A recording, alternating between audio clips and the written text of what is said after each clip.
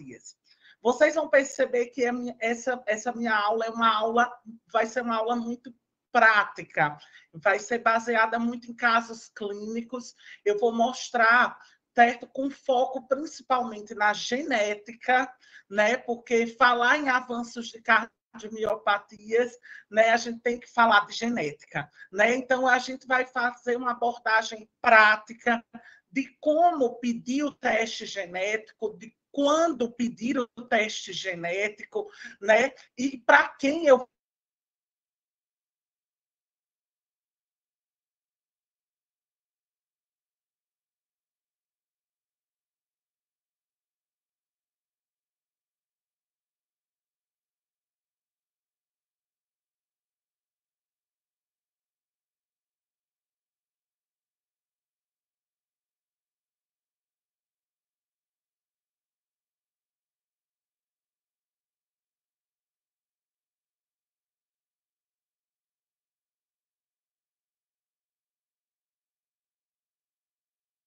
Travou ou foi, foi o meu?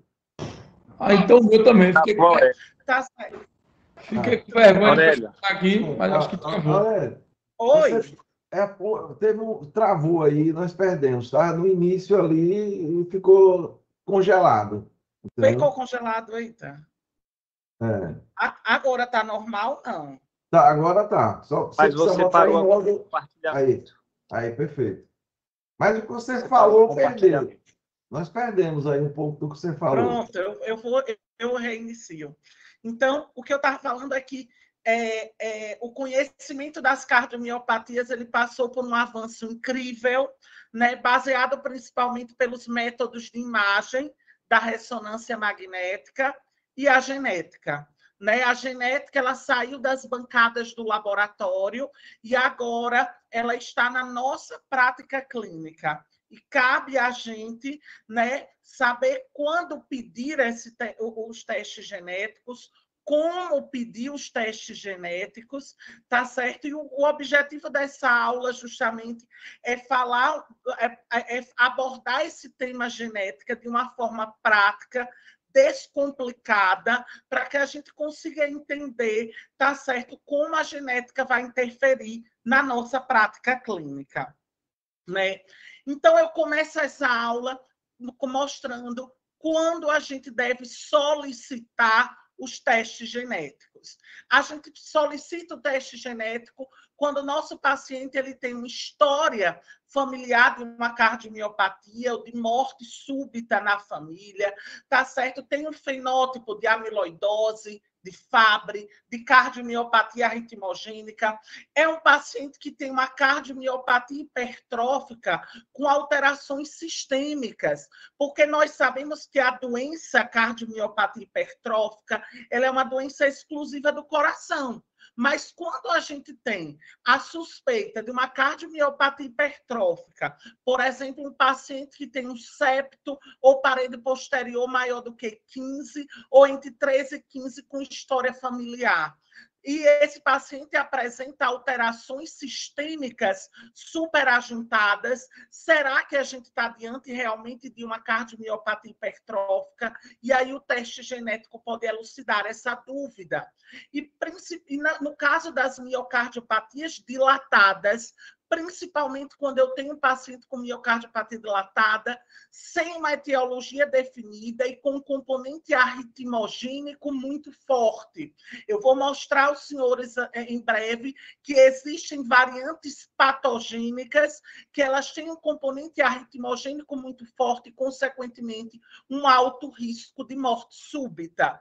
E também, minha gente, a gente pede o teste genético naqueles pacientes jovens, especialmente com menos de 50 anos de idade, que apresentam distúrbio de condução atroventricular ou até necessitam de um marcapasso definitivo, tá certo? Ou implementar um CDI, especialmente com menos de 50 anos de idade. Então, basicamente, essas são as indicações. Quando eu tenho um paciente com história familiar de cardiomiopatia ou de morte súbita, uma cardiomiopatia dilatada com um componente arritmogênico muito forte, um paciente com cardiomiopatia hipertrófica que eu suspeitei apresentando sintomas sistêmicos, e um paciente jovem, especialmente com menos de 50 anos, que apresenta um distúrbio de condução, que necessite de marca-passo ou implementou por algum motivo um cardiodesfibrilador implantável. E aí a gente pede a genética. E a gente começa a nossa aula com esse primeiro caso. A gente tem uma mulher de 32 anos de idade que apresenta dispneia aos esforços, que no ecocardiograma tinha uma fração de ejeção de 37%, um fenótipo dilatado, com a ressonância magnética com miocardiopatia dilatada, com um realce tardio, um realce tardio inespecífico, sem arritmias, síncopes e em classe funcional 1, 2, com tratamento clínico otimizado, sem comorbidades prévias. E a gente fez a investigação etiológica da IC dela de forma bem sistemática. Investigamos coronariopatia, descartamos coronariopatia. Nós sabemos que para a gente dizer que uma disfunção ventricular grave é secundária a uma coronariopatia, nós devemos estar diante de uma coronariopatia anatomicamente grave, como uma lesão de tronco de coronário esquerdo ou uma DAC multiarterial descartamos. Descartamos as sorologias, esse paciente não tinha HIV, não tinha hepatite B, hepatite C, HTLV, não tinha chagas, certo? Esse paciente não tinha histórico de álcool, não tinha histórico de uso de drogas, de quimioterápicos, de radioterapia. Esse paciente não tem um histórico de colagenoses. E aí a gente pediu a ressonância magnética e a ressonância magnética veio inespecífica. Mas o que chama a atenção nesse caso é a presença de um irmão que teve morte súbita aos 39 anos. E aí esse paciente tem indicação de teste genético esse paciente tem indicação de teste genético. E isso é embasado pelos nossos guidelines né, europeus. Né, o, a, a, a gente, o, o, primeiro guideline que, mostrou, que avaliou o manejo das cardiomiopatias foi a diretriz europeia de cardiologia publicada ano passado, né, no Congresso Europeu, e mostra para a gente que a indicação classe 1, quando eu tenho uma cardiomiopatia definida com o objetivo de avaliar diagnóstico, prognóstico e avaliar aconselhamento, eh, aconselhamento genético e, a, e determinar condutas específicas. Também nós embasamos essa, essa solicitação no guideline europeu também de 2022, que avaliou o manejo das taquicardias ventriculares e a prevenção de morte súbita, que mostra para a gente que a indicação classe 1, tá certo? A solicitação de testes genéticos para os pacientes com cardiomiopatia dilatada ou não dilatada, especialmente se esse paciente tiver um histórico familiar de morte súbita, ou um histórico familiar de cardiomiopatias, ou se esse paciente tiver síncopes inexplicadas de repetição, ou se esse paciente ele tiver, por exemplo, tá certo, tiver, por exemplo, alguma algum histórico, a, a, a, alguma, alguma, alguma situação arritmogênica muito forte, algum indício arritmogênico muito forte. Então, esse paciente tem indicação, sim, de teste genético. E quando a gente pediu o teste genético para esse paciente, a gente solicitou o painel genético das cardiomiopatias dilatadas. E quando a gente pediu né, o teste genético, a, o, o, painel genético das miocardiopatias dilatadas, a gente veio, veio com o resultado dessa variante patogênica, a, a, mutação da lamina. E por que essa mutação ela é tão importante? A mutação da lamina indica para a gente que esse paciente tem um componente arritmogênico muito forte. Esse paciente tem um alto risco de morte súbita. E as diretrizes mostram para a gente que quando eu estou diante de um paciente que tem cardiomiopatias dilatadas e variantes patogênicas específicas, que eu vou mostrar adiante, ele tem um alto risco de morte súbita por arritmias ventriculares e tem indicação de cardiodesfibrilador implantável por profilaxia primária, né? E aqui nós podemos observar que o guideline europeu coloca como indicação 2A aqueles pacientes que têm cardiomiopatia dilatada e apresentam variantes patogênicas específicas. E quais são essas variantes patogênicas específicas? A mutação da lamina, a mutação da filamina, a mutação do fosfolamban, a mutação da proteína 43, a mutação da proteína 20 associada ao RNA e a mutação da desmoplaquina. Essas são mutações são variantes patogênicas que estão associadas com cardiomiopatia dilatada e têm um alto poder arritmogênico no paciente. E é o paciente que apresenta uma cardiomiopatia dilatada e apresenta quaisquer uma dessas variantes patogênicas tem um alto risco de morte súbita por arritmias ventriculares. E, e ainda acrescento né, para esse risco aumentado de morte súbita com essas variantes patogênicas, eu acrescento aos senhores que quando meu paciente tem síncopes inexplicadas de repetição, um holter apresentando TVNS, ou um paciente que já tem uma disfunção ventricular grave, tá certo? Esse paciente tem um alto risco de morte súbita. Os senhores terem uma, uma ideia da magnitude dessas mutações, nós já temos scores validados para a mutação da lamina, tá certo? Para avaliar o risco de morte súbita e, e, e consequentemente, tá certo? consequentemente, val, é, é, implementar o cardiodesfibrilador implantável com uma segurança embasado em medicina baseada em evidências. Né? Existem scores específicos dentro dessa mutação da lamina. Para os senhores terem uma ideia, pacientes que apresentam quaisquer dessas variações patogênicas, como mutação da lamina, filamina, proteína 40 43, proteína é, é, 20 é, associada ao RNA, é, paciente com mutação da desmoplaquina ou mutação do fosfolamban, esses pacientes têm um risco em torno de 3 a 10% de morte súbita por arritmias ventriculares.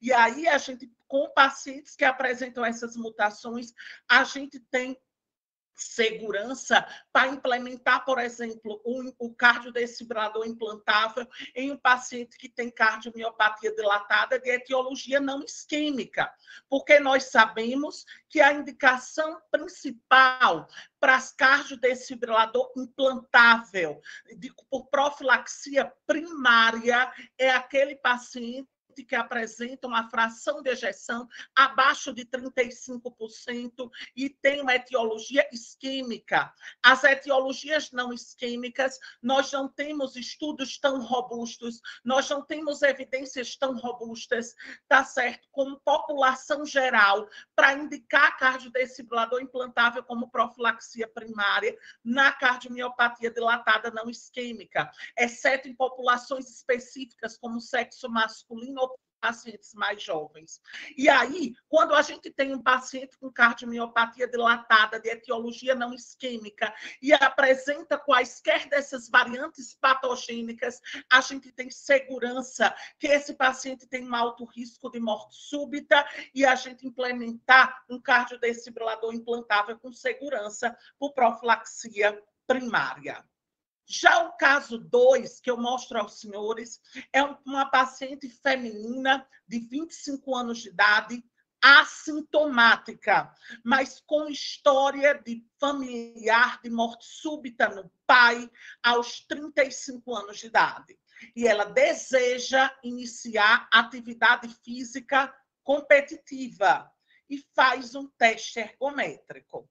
Pediram um teste ergométrico para ela quando a gente avalia o eletro de repouso dessa paciente, a gente já observa em V1 a presença de uma onda epsilon, né, de uma onda epsilon sugestivo, né, já é um critério maior pelo task force para diagnóstico de cardio cardiomiopatia ritmogênica, né, já tem um critério maior, tá certo, para cardiomiopatia ritmogênica, essa paciente. A gente ainda não fechou o diagnóstico da cardiomiopatia ritmogênica. Para a gente fechar o diagnóstico de cardiomiopatia ritmogênica, a gente precisa de dois critérios maiores ou dois critérios menores mais um maior. Então, nós só temos ainda um critério maior. Mas quando essa paciente ela foi para o esforço, ela, antes de atingir a frequência cardíaca submáxima, essa paciente teve uma morte súbita abortada, num ritmo detectado de taquicardia ventricular sem pulso, e ela retornou à circulação espontânea depois de desfibrilação. Diante disso, diante de uma paciente como essa, tá certo que agora que a gente tem tá certo, um histórico familiar de morte súbita, né, do pai com 35 anos de idade. Ela tem um eletro no repouso, com a presença de onda epsilon e a gente coloca essa paciente no esforço, tá certo? E ela faz uma morte súbita abortada. Essa paciente foi submetida a um teste genético e a gente pediu painel genético para cardiomiopatias arritmogênicas. E tivemos uma variante patogênica positiva para cardiomiopatia arritmogênica do VD. E agora nós temos dois critérios maiores. Nós temos a presença da onda epsilon e temos a presença da variante patogênica para a cardiomiopatia ritmogênica do VD. E uma paciente que até então era assintomática, né, que foi fazer um teste ergométrico para avaliar para avaliar e iniciar atividade física competitiva, a gente descobriu o diagnóstico de cardiomiopatia ritmogênica do VD com o teste genético. E aqui a gente tem dois critérios maiores e essa paciente, ela tinha indicação de CDI já por prevenção secundária, implantou o CDI por prevenção secundária, mas essa paciente a gente tem o uso do beta bloqueador, ter o cuidado com a indicação de atividade física nessa paciente, tá certo? Justamente porque a gente descobriu uma cardiomiopatia ritmogênica do VD. Então foi importante importante o, dia, o diagnóstico genético nessa paciente. Agora, vamos para o terceiro caso. Temos um paciente masculino de 42 anos de idade, que ele é acompanhado no ambulatório de, de cardiomiopatias, né, do, do, do, ambulatório de cardiomiopatias, e a gente, ele, ele tem uma cardiomiopatia hipertrófica não obstrutiva. Ele está assintomático. Então, a gente já ele já é acompanhado no ambulatório, tem uma cardiomiopatia hipertrófica não obstrutiva, está assintomático com seu uso de beta-bloqueador, está controlado, mas o que chama a atenção é que ele mostrou para a gente a presença dessas lesões aqui em mucosa, cutâneas, em que a gente tem a presença de angioqueratomas. E quando a gente está diante de um paciente que tem, a gente tem o fenótipo de cardiomiopatia hipertrófica, mas a gente tem a apresentação de manifestações sistêmicas, e especialmente essa manifestação sistêmica, a gente deve pensar na possibilidade de, de fenocópias da cardiomiopatia hipertrófica. Será que esse paciente é cardiomiopatia hipertrófica mesmo? Ou eu estou diante de outra doença?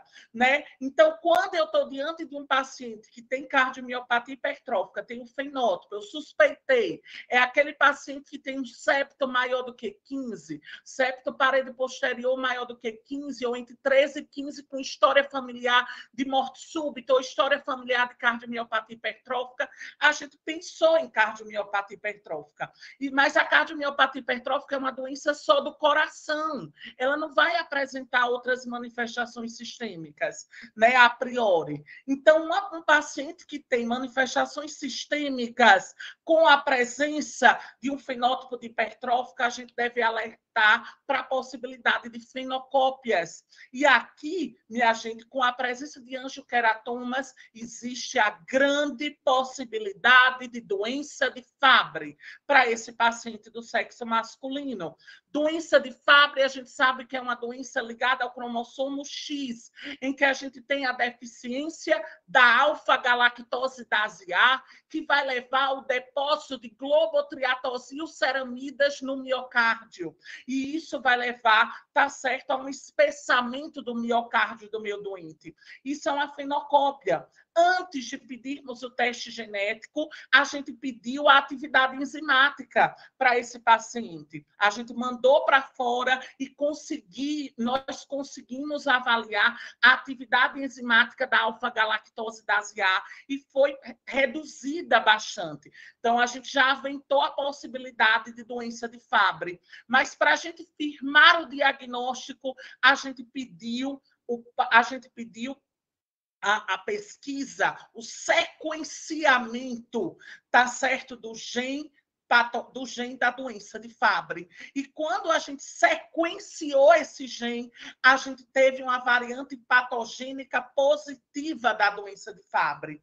E como novidade no tratamento da doença de Fabry. Antigamente, a gente tinha uma, uma a medicação que era reposição enzimática da alfa-galactose da A, por forma parenteral, mas hoje a gente tem a, o, o, o, o, migalast, o milgalaste, o milgalastate, e o milgalastate é uma medicação que ela estimula atividade enzimática das enzimas já existentes, né? E a medicação é por via oral, né? E a gente conseguiu para esse paciente o, migala, o migalastate, né? Junto com a indústria, a gente conseguiu, né? O migalastate. Esse paciente que era acompanhado até então, né? Já antes de eu ter voltado até, né? De, de São Paulo, já era acompanhado por cardiomiopatia hipertrófica. A gente descobriu uma doença de Fabre para esse paciente, né? E a gente mudou o desfecho desse paciente repondo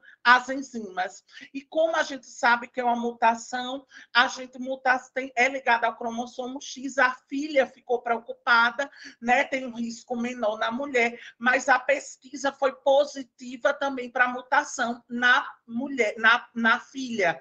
Lembrando que a filha tem o genótipo, mas a filha era assintomática, não tinha nenhum fenótipo de espessamento miocárdio.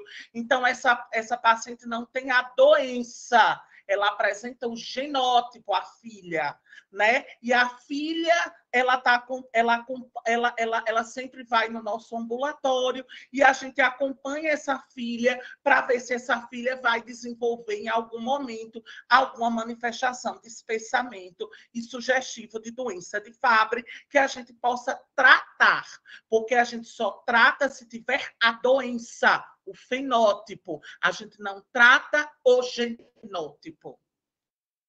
E agora, minha gente, eu, agora eu vou ensinar, vou explicar como solicitar o teste genético. Como é que a gente solicita o teste genético, né? E aqui, eu, eu, antes de começar esse caso, a gente tem que entender que o teste genético é um exame complementar ele auxilia no diagnóstico. E para que a gente tenha respostas para resolver o nosso problema, a gente tem que aprender como solicitar corretamente o exame. Porque muitas vezes a gente acha que o resultado do teste genético foi errado, mas o resultado foi errado porque a gente perguntou de forma equivocada, tá? Então, para isso eu vou explicar aqui para os senhores baseado em casos clínicos como solicitar o teste genético. E depois eu vou fazer um resumo como solicitar em geral. Então, esse caso tem um paciente, eu estou no meu consultório e atendo uma paciente que está com receio de ter a mesma doença da irmã, que tem cardiomiopatia hipertrófica muito grave. Seus exames são normais e ela quer engravidar o que devo fazer para essa paciente que quer engravidar? Então, primeiro a gente deve entender as bases genéticas da cardiomiopatia hipertrófica. A cardiomiopatia hipertrófica é uma doença autossômica dominante. E o que isso quer dizer? Quer dizer que o paciente que tem a cardiomiopatia hipertrófica, ele tem 50% de chance de transmitir o gene para os seus descendentes. Em outras palavras, se eu tenho essa filha, tá certo que não tem sintomas, essa filha de um paciente que tinha cardiomiopatia hipertrófica, ela tem 50% de chance de ter cardiomiopatia hipertrófica. E aí eu relembro um conceito de genética muito importante. A gente tem que saber a diferença de genótipo e a diferença de fenótipo. Genótipo é o gene tá certo? É o gene, é a variante genética que pode levar à manifestação de doença. Já fenótipo é a cara, é como o meu paciente se apresenta clinicamente, tá certo? É como, se ele, como ele se apresenta clinicamente, é o fenótipo. Então, minha gente, eu posso ter o genótipo positivo, mas o fenótipo negativo. Então, esse meu paciente não tem a doença, então, essa irmã aqui, que tá, essa paciente que chegou para a gente, que tem a irmã com cardiomiopatia hipertrófica, quem tem a doença é a irmã. Por enquanto, eu não tenho indícios de que essa paciente assintomática, com exames normais, tenha cardiomiopatia hipertrófica porque ela precisa ter o fenótipo para dizer que tem cardiomiopatia hipertrófica. E aí eu mostro esse heredograma aqui mostrando quando a gente vai pedir, o que é que a gente vai fazer por essa paciente? Chegou a paciente que quer engravidar com fenótipo negativo com fenótipo negativo, mas eu tenho uma irmã que tem o fenótipo positivo. Então, o erro de muita gente é pedir o teste genético já para quem tem o fenótipo negativo. Está errado. A gente vai pedir o, o, o teste genético para quem tem o fenótipo positivo, para o caso índice. E aí eu vou pedir o quê? Eu vou pedir o painel genético das cardiomiopatias hipertróficas para o caso índice. Então, eu vou chamar a irmã que tem cardiomiopatia hipertrófica e vou pedir o teste genético para ela. Então, eu vou pedir o painel genético das cardiomiopatias hipertróficas. E aí, quando a gente pede o painel da, para a cardiomiopatia hipertrófica para a irmã, o resultado foi para uma variante patogênica sarcomérica da miosina. Então, essa paciente, essa irmã da paciente, realmente tem a variante, a variante patogênica. E aí, o que é que eu faço com isso? Aí eu vou pedir a pesquisa dessa variante patogênica na paciente que quer engravidar. Então, aí eu vou pedir a pesquisa da mutação específica. E quando a gente vai para o laboratório e pede esse teste, Normalmente, essa pesquisa da mutação, como eu já tenho a mutação específica, esse exame normalmente é de graça, os laboratórios não cobram, tá certo? Esse novo exame, quando eu peço a mutação específica. Então, eu pedi o quê? O painel das cardiomiopatias hipertróficas para o caso índice e aí, dessa paciente do caso índice, veio uma variante patogênica positiva. E aí, minha gente, quando veio essa variante patogênica positiva, eu vou pedir na paciente a mutação específica desse gene. E aí, se essa pesquisa dessa variante patogênica teve, foi negativa, final feliz, alta para essa paciente, ela pode engravidar tranquilamente. Agora, se o teste foi presente, a mutação, a variante patogênica foi positiva para essa paciente que quer engravidar, ela tem o genótipo positivo, mas ela tem o fenótipo negativo. Eu tenho que acalmar essa paciente. Essa paciente não tem a doença, minha gente. Essa paciente ela tem um genótipo positivo. Então eu devo rastrear. Então, se eu tenho uma paciente que tem esse genótipo positivo com fenótipo negativo, aí eu vou fazer o rastreio do fenótipo. Como é que eu faço isso? Se eu tenho paciente com mais de 18 anos, eu vou pedir uma ecoeletro a cada cinco anos, porque com mais de 18 anos, o risco de manifestar doença é menor. E se ela tem menor de 18 anos ou quer ser atleta, eu peço anualmente um eco e um eletrocardiograma. Aí, se essa paciente manifestar um dia a doença, aí sim eu posso pegar avaliar a possibilidade de, a depender dos sintomas, impedir que essa mulher engravide. Mas se eu tenho genótipo positivo e o fenótipo negativo, acalme a paciente e ela vai engravidar tranquilamente. Agora, eu tenho, a conduta que eu vou mudar é fazer o rastreio desse fenótipo.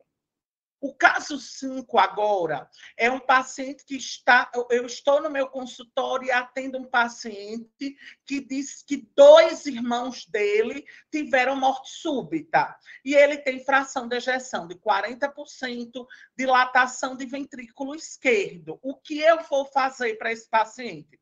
Esse paciente a gente já sabe que tem indicação de teste genético. Quando eu não sei qual é a possibilidade de variante patogênica, mas eu tenho fenótipo dilatado ou um fenótipo hipertrófico, eu vou pedir o painel genético para cardiomiopatia dilatada, neste caso, se fosse hipertrófico, painel genético para cardiomiopatia hipertrófica. Então, esse paciente aqui, eu vou pedir o quê? O painel genético de cardiomiopatia dilatada. Agora, olha esse paciente aqui, o caso 6. A diferença desse paciente para os outros. Eu atendo um paciente no consultório que fez o diagnóstico de amiloidose por TTR, transtirretina, com cintilografia positiva. Cintilografia com pirofosfato foi positiva. Antes foi feita a investigação de, de cadeias leves e esse paciente não tem nenhum indício de gamopatia monoclonal. Então, ele, eu, eu, ele tinha fenótipo de amiloidose, sus, suspeitei de amiloidose, pedi a pesquisa das cadeias leves, com eletroforese de proteínas séricas urinárias, imunoeletroforese, imunofixação, free light, relação capa-lambda, foi tudo negativo. Aí descartei a amiloidose AL, a priori, e eu pedi a cintilografia com pirofosfato. Cintilografia com pirofosfato foi positiva. E aí a gente confirmou o diagnóstico de amiloidose TTR. Só que aí, minha gente, essa TTR é mutante ou é selvagem, né? Aí eu vou pedir o teste genético para ver se tem alguma mutação. Aí aqui, minha gente, que eu já tenho o fenótipo eu já tenho fenótipo de uma cardiopatia específica. Eu já tenho diagnóstico de uma cardiopatia específica. Eu vou pedir painel de, de alguma coisa. Eu vou pedir painel de amiloidose? Não. Eu vou pedir a, o sequenciamento do gene TTR, porque aqui eu já tenho um diagnóstico específico, eu já tenho fenótipo de amiloidose TTR. Então, se eu já tenho aqui o fenótipo, eu vou sequenciar o gene, de, da, o gene da TTR, da transtirretina. E aí eu recebo o resultado do sequenciamento do gene TTR e foi encontrada a variante patogênica do gene TTR, a VAL 142 ILI. Então, teve aqui genótipo positivo, ela tem, ela tem amiloidose TTR mutante. Aí, familiares deste paciente assintomáticos têm exames normais. Como eu vou solicitar se eles têm esta mutação? Então, agora eu vou pesquisar mutação em familiares para pesquisar mutação em familiares assintomáticos, eu vou fazer o quê? A pesquisa da mutação específica. Então, aqui eu não vou pedir sequenciamento de gene, não. Eu quero saber agora se os familiares têm chance de ter a doença. E aqui eu já tenho uma mutação específica que já veio. Então, eu vou solicitar a pesquisa da variante patogênica VAL 142-ILE nesse paciente assintomático. Agora que a gente entendeu, para a gente finalizar é, essa parte dos, dos testes genéticos, então, quando eu estou diante de um paciente que tem uma miocardiopatia dilatada ou hipertrófica e eu quero descobrir qual é a variante patogênica, eu peço painel geral, painel genético de cardiomiopatia dilatada ou painel genético de cardiomiopatia hipertrófica. Agora, quando eu quero avaliar familiares para aconselhamento genético, familiares, como é que eu faço? Eu vou pesquisar o caso índice, e aí, o caso índice, quando vier a variante patogênica, eu pesquiso no, no familiar o quê? A variante patogênica que eu encontrei. Eu nunca vou pesquisar direto o painel nos pacientes assintomáticos. E quando meu paciente já tiver o fenótipo da doença, eu vou pedir o sequenciamento do gene daquele fenótipo. Então, eu tenho fenótipo de amiloidose TTR.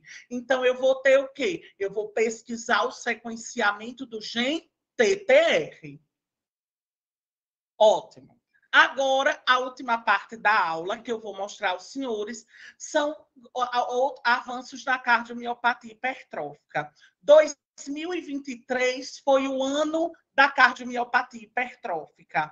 Né? Até então, nós não tínhamos, né, apesar de, de, de desde Brownwald, né, começar a investigação de alguma droga específica para cardiomiopatia hipertrófica, até então a gente não tinha nenhuma droga específica para cardiomiopatia hipertrófica. E aí foi publicado, né, o estudo Explorer, o estudo Valor, que eu vou explicar já já, né? E nós temos hoje uma medicação específica para cardiomiopatia hipertrófica que é o inibidor direto da miosina cardíaca, né, que a gente indica para aqueles pacientes que têm cardiomiopatia hipertrófica, sintomáticos, obstrutivos, porque até então as evidências que nós temos é para cardiomiopatia hipertrófica obstrutiva, tá certo? E que esses pacientes têm que apresentar uma fração de ejeção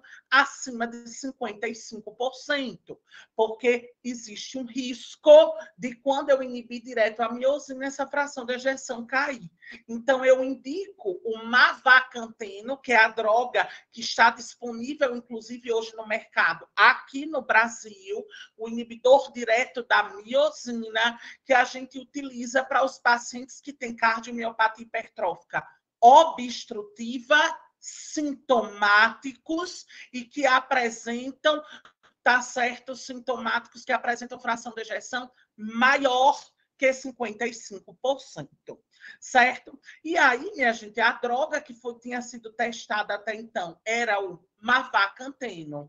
Mas nós temos também agora dados do estudo Sequoia, tá certo? Com o uso do aficanteno, que tem o mesmo, o mesmo mecanismo de ação.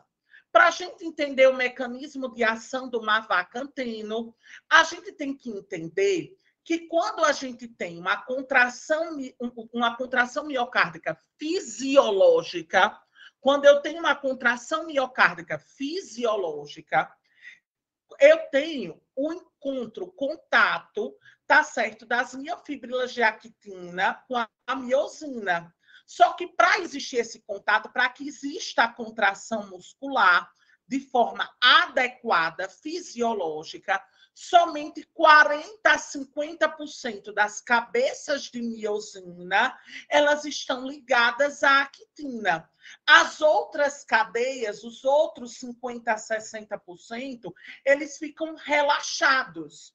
E aí, tá certo? Para que eu tenha uma contração é, miocárdica adequada fisiológica, eu tenho que ter em torno de 50% a 60% das cadeias de miosina relaxadas, como os senhores podem observar nessa figura da direita. Mas nessa figura da esquerda, a cabeça da miosina está lá em pé, está certo, aberta, pronta para se ligar a uma actina. Então, para que exista a contração miocárdica fisiológica, eu tenho que ter somente 40 a 50% das cabeças de miosina ligadas à actina. Porém, na cardiomiopatia hipertrófica, em vez de nós termos 40 a 50% das cabeças de miosina ligadas, nós temos em torno de 70%, 80% das cabeças de miosina ligadas à, actina. E aí a gente vai ter um status de hipercontratilidade miocárdica e isso vai propiciar, tá certo, a formação de junções intercelulares bizarras, tá certo? E aumento de fibrose todos os danos que a gente tem na cardiomiopatia hipertrófica secundária essa hipercontratilidade miocárdica. Então, o objetivo do mavacanteno, do aficanteno, é inibir é diretamente essa miosina e transformar essa miosina que está lá pronta para se ligar à quitina e ela ficar relaxada e voltar aqueles 40%, 50%, tá certo, das cabeças de miosina ligadas à actina e voltar a uma contratilidade miocárdica normal. Porém, quando a gente suspende uma vaca anteno, infelizmente volta a ter 70%, 80% das cabeças de miosina ligadas à actina e volta a hipercontratilidade miocárdica. Então, eu dependo do uso da, da droga. Se eu suspender a droga, infelizmente, não tem benefício. E aí, os dados que nós temos de estudos, nós temos o estudo Explorer, que avaliou em torno de 251 pacientes obstrutivos sintomáticos que foram randomizados para uso do mavacantino e o uso, tá certo, de placebo em, com follow-up de 30 semanas. Já o estudo Sequoia foi com a ficanteno, população bem semelhante à do mavacanteno, tá certo? Tem o mesmo mecanismo de ação, foram 282 pacientes sintomáticos, tá certo? Que eram obstrutivos e foram randomizados para o uso do aficanteno e para o uso do placebo com follow-up de 24 semanas. E o endpoint primário do estudo Explorer foi um, disposto, um desfecho composto de um incremento do VO2 pico em 1,5 ml quilo minuto e ganho de um ponto na classe funcional da New York Heart Association. E como endpoint primário, tá certo, era, desculpe, como endpoint secundário no estudo Explorer, foi um incremento de 3 ml por quilo minuto no VO2 pico naqueles pacientes que tinham que, que, que, naqueles pacientes sem alterarem a classe funcional. Então, em suma, o estudo Explorer, o desfecho primário composto, era o composto de incremento de VO2 pico e melhora de classe funcional da New York Heart Association. O desfecho secundário era o aumento do VO2 pico sem ter alteração na classe funcional da New York Heart Association. Já o endpoint primário do estudo Sequoia foi o que? O incremento do VO2 pico ter um incremento de VO2 pico. E o estudo secundário são vários biomarcadores, classe funcional, tá certo? Foram vários desfechos secundários juntos. E o que é que o estudo Explorer mostrou para a gente? Mostrou para a gente que 65% dos pacientes que tiveram, tá, fizeram uso do mavacantino, eles melhoraram a classe funcional. E 50% desses pacientes no Explorer voltaram para a classe funcional NIRA 1 tá certo, NIRA1.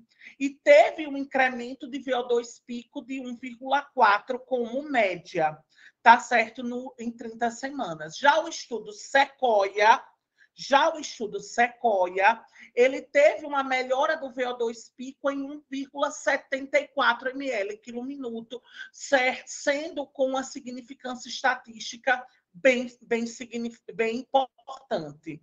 Tá certo? Então, baseado nisso, o cenário atual é que a gente tem uma vacantino, tá certo, no mercado para utilizar nos pacientes que têm cardiomiopatia hipertrófica obstrutiva sintomática que tenham fração de ejeção maior que 55%. Já foi aprovado pelo FDA em abril do ano de 2022 e a Anvisa aprovou o Mavacantino, tá certo, em janeiro do ano passado. O único problema do Mavacantino, é um grande problema, ainda é o custo, tá certo, do Mavacantino, que realmente ainda é muito caro. Certo, minha gente? Muito obrigado, tá certo? Foi uma honra e um prazer muito grande estar aqui com vocês.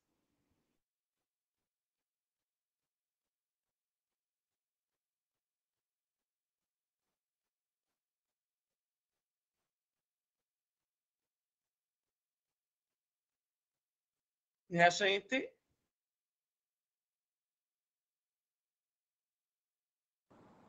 Fala, Aurélio. Opa! Oi, chefe. Opa! Aurélio.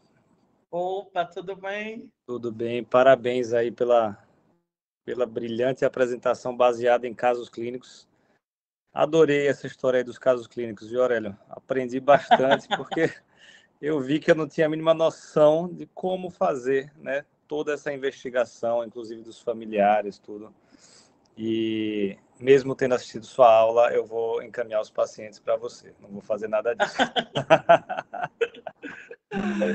Mas aí Aurélio, a gente aprende junto. Aprendemos juntos. Se você puder parar o compartilhamento, Aurélio, por favor. Claro, claro, claro. E aí eu consigo ver aqui. Pronto. Tirei. Aurélio, qual que você acha que é o maior desafio, assim, você, você pegando assim uma miocardiopatia é, que você não tem claramente um agente causal, né? Qual você acha que seria assim o primeiro passo? Assim, você pega uma ressonância que é aquela ressonância totalmente inespecífica, né? Luiz Flávio ali não consegue, Érica não conseguem dizer para a gente ali, dar uma luz, né? Através do mar. O que, que você acha que seria o caminho a ser seguido, assim? Perfeito, perfeito que é que acontece? A primeira coisa que a gente tem que tem que lembrar é pensar no teste genético, né? E quando é que a gente pensa em teste genético na investigação de uma miocardiopatia dilatada, né? Então a gente tem que investigar, seguir o passo a passo. Seguir o primeiro passo, que é descartar a coronariopatia, né? A principal causa de dilatação ventricular ainda é coronária, com certeza. E como ainda é coronária, e para a gente é, é, justificar uma disfunção ventricular secundária, ela tem que ser secundária a uma coronariopatia anatomicamente grave. E uhum. aí a gente pediu um CAT ou angiotomo de coronárias, né? E aí, se tiver uma lesão de tronco de coronária esquerda ou DAC multiarterial, justifiquei. Não tem para que pedir teste genético aqui nesse paciente. Se esse paciente não elucidou ainda a etiologia da IC, descartando coronariopatia, a gente tem que pensar ainda sorologias, em HIV, hepatite B, hepatite C, Chagas, como possíveis causas. Hipotiroidismo, hipertiroidismo. Lembrar da investigação ainda no consultório, perguntar sobre álcool, drogas, uso de quimioterápicos. Então, esse é o passo a passo ainda convencional. E se depois de tudo isso que eu fiz ainda tiver, eu peço a ressonância. Aí a ressonância, se não ajudar, né? Que não é, é, é, é, a ressonância vai ajudar em muitos casos. Se a ressonância ainda não ajudar, aí sim está na hora de eu pedir o teste genético. Ou se eu já tiver um paciente que já tem a cardiomiopatia, tem um fenótipo de uma cardiomiopatia, mas esse paciente tem um histórico familiar de cardiomiopatia já. Eu hum. tenho um paciente que tem, e principalmente se for uma cardiomiopatia é, não isquêmica, né, prévia, numa história familiar. Tem história familiar de morte súbita, especialmente com menos de 50 anos de idade. Então, esse paciente já tem que eu alertar que pode ter algo genético por trás. E como a gente viu, a genética, ela, te, ela muda a conduta em várias situações, uhum. né? Então, é importante, sim, a gente pensar e lembrar como, como pedir né? Porque às vezes a gente pede de forma incorreta, né? Pede de forma incorreta e vai ter resultados que não vão elucidar o uhum. que a uhum. gente perguntou. Beleza, Aurélia. Achei importante você falar da questão da coronariopatia ser anatomicamente importante, né? Não tem como justificar aí uma, uma mioque né, dilatada com, vamos dizer, uma lesão grave na CD, puramente, né? É, tem, tem, que ser, tem que ser uma anatomia mais robusta, né? Antes é. de. Tem dois colegas que levantaram as mãos, mas eu queria fazer mais uma pergunta para você.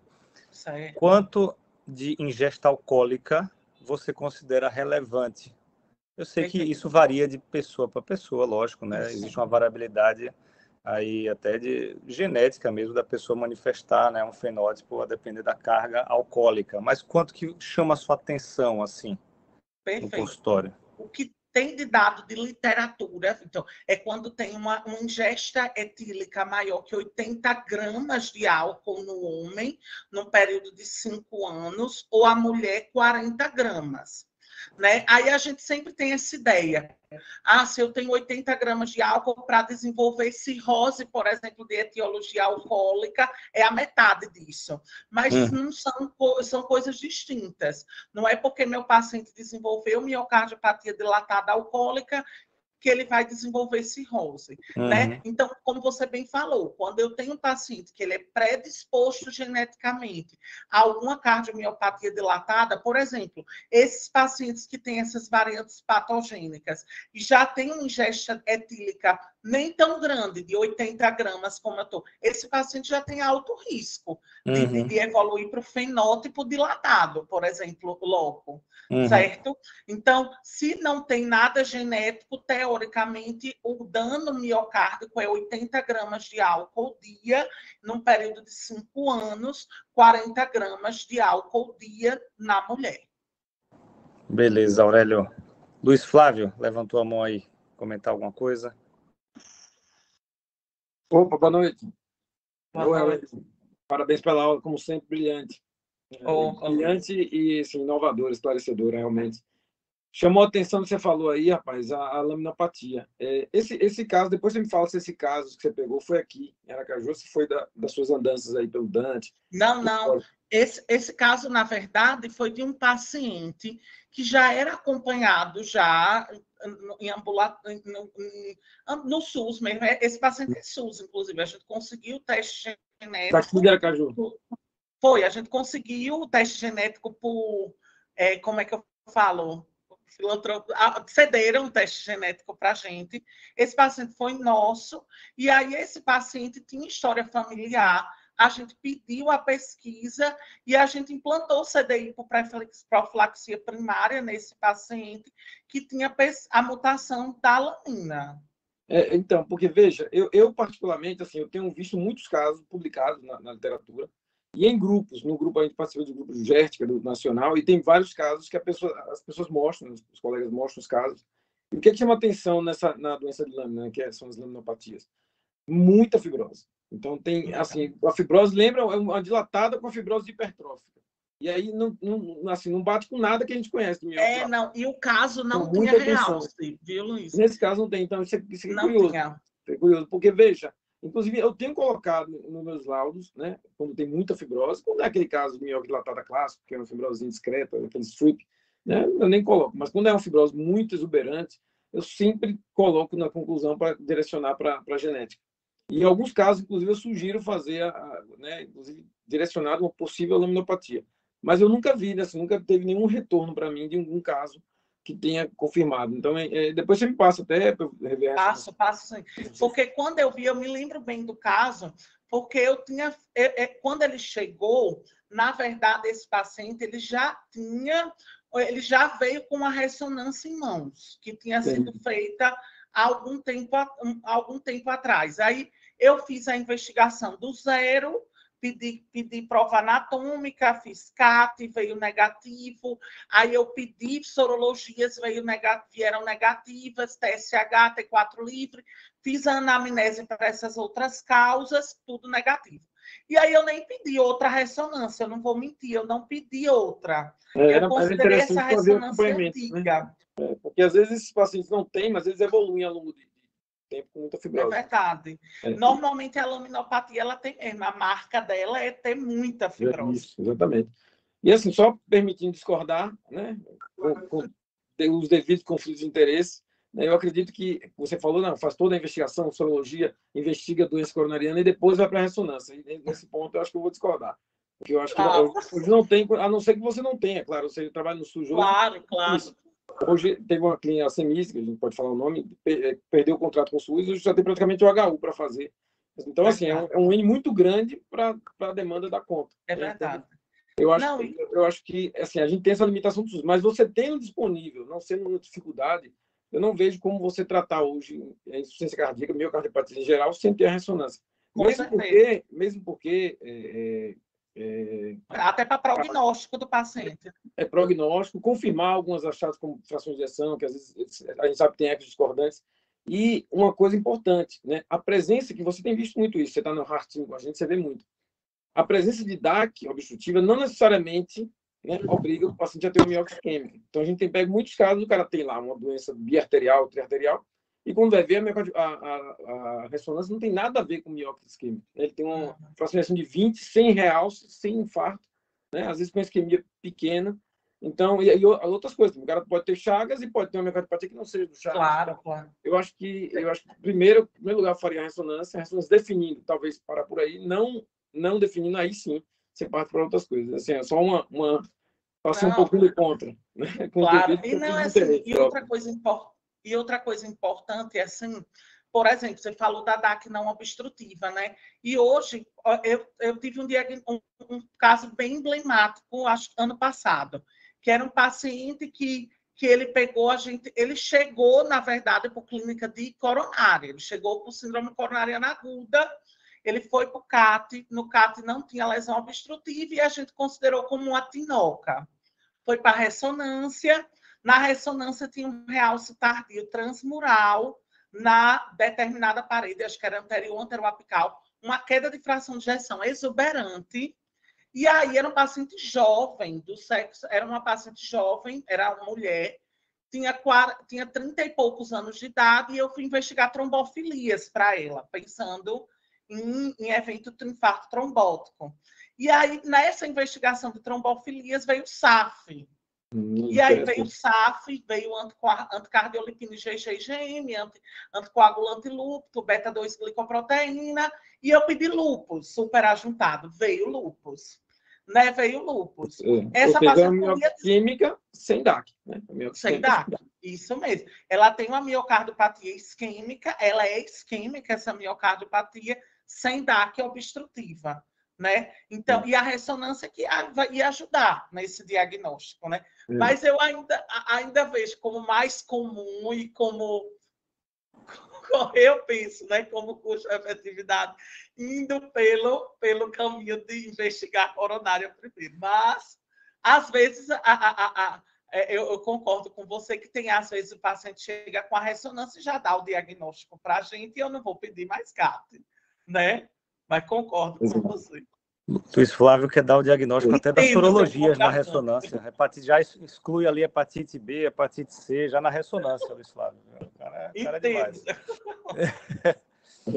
o Aurélio, você acha que existe, é, a gente até tem uma discussão recente de um caso seu, né?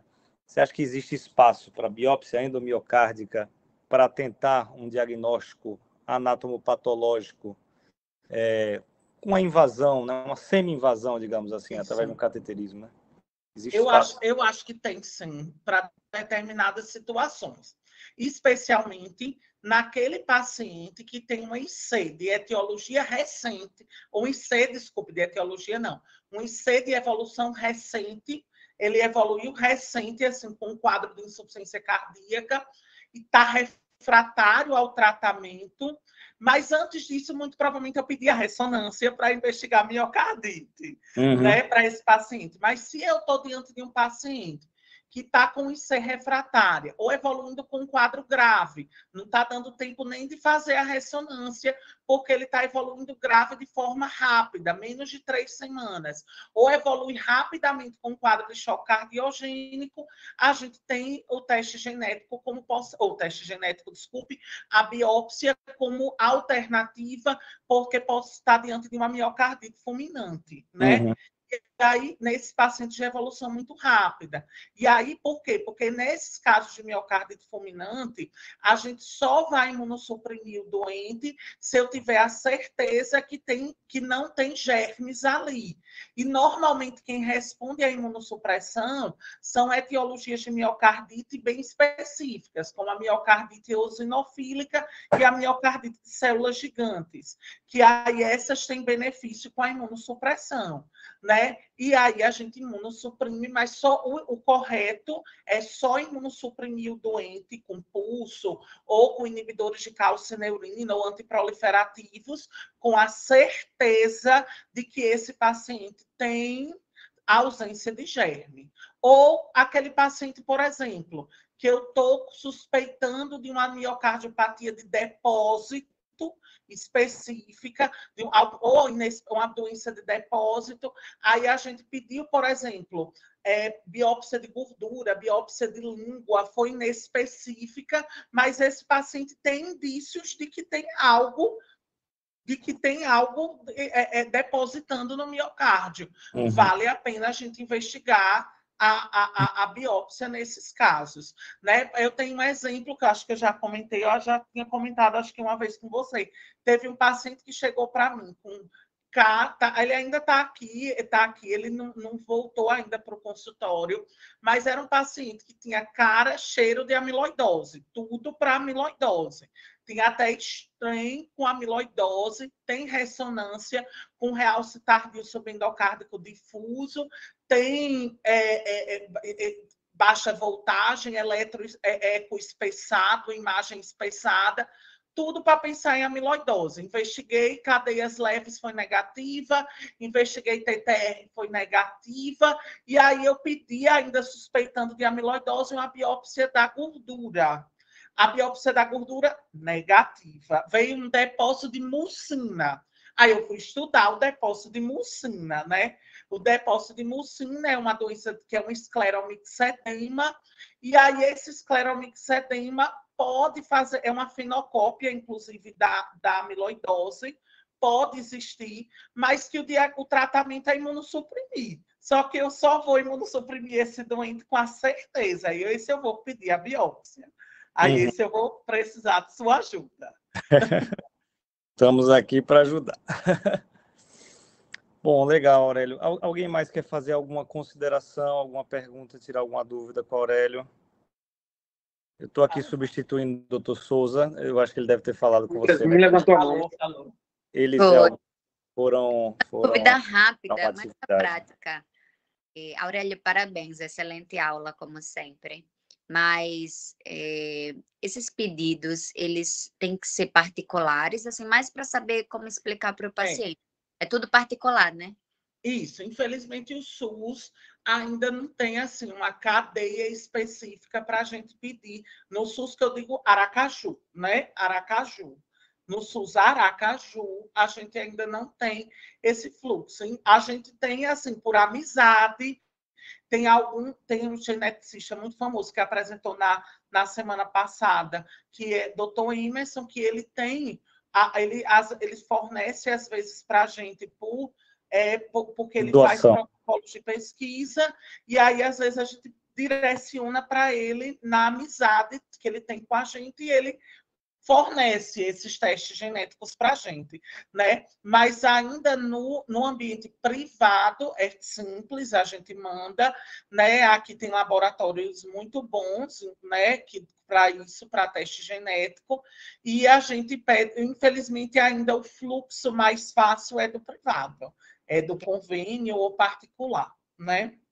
Tá bem, E tem uma coisa boa que foi, eu acho que eu comentei na aula quando a gente pede a variante patogênica específica para quando a gente pesquisa o assintomático, o teste é de graça.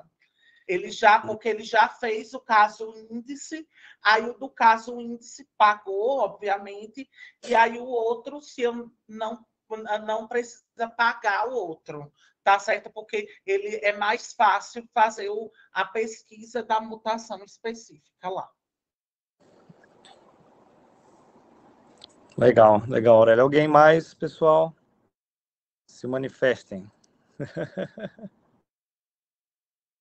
Bom, Aurélio, queria agradecer em nome do Dr. Souza, que é o nosso coordenador aí, teve que se ausentar, mas queria agradecer a sua excelente aula, foi muito esclarecedora. Como você falou no início, foi muito prática, baseada em casos clínicos.